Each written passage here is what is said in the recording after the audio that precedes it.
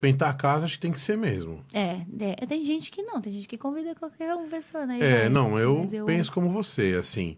E eu, eu ainda vou mais além. Eu acho que a partir do momento que eu convidei uma pessoa pra, pra visitar, pra, sei lá, comer uma feijoada no sábado, pra. Meu, vai, vai vir cinco, seis pessoas aqui, a gente vai ver um filme, vai ver qualquer coisa, um jogo.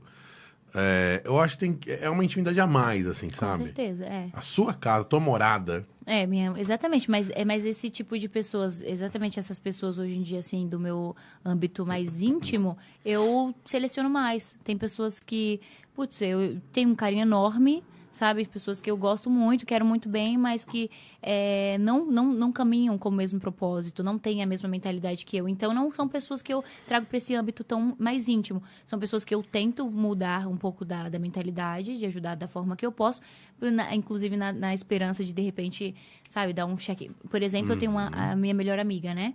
Minha melhor amiga, ah, desde que eu, eu sempre fui muito pra frente. Não fala o nome, senão os outros vão Não, ficar com é- ciúmes, hein? É, pior que todo mundo sabe. Eu sou muito sincera. Todo É? mundo Quem sabe. que é? Qual é o a, nome? é Cidália. Ela é, minha melhor amiga. Cidália! Por que você não veio hoje, Cidália?